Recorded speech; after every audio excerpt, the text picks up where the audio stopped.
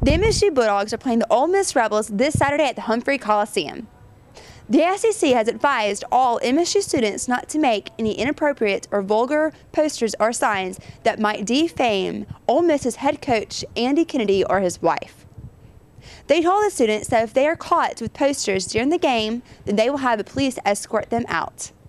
Um, I'm really surprised that they're taking it to that extent, but um, I kind of see where they're coming from with all the issues that have come up with Andy Kennedy and all that. But um, I think that people have a right to express themselves, I guess.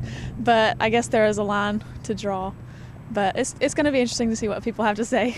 Um, I guess I feel like it's not too much of a request as long as there's fair notice. Uh, like I didn't hear about it until now, so I feel like they should probably just like take the signs away instead of actually kicking people out of the game. I feel that it's almost a good thing, especially with there's so much going on with Coach Kennedy and his wife and all the legal issues. And um, I feel like the SEC and mainly the coaching staff at Mississippi State are just trying to make sure that we put off a good image.